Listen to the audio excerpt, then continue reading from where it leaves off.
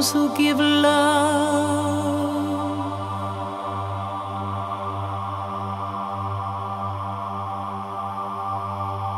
When they talk, listen. When they love.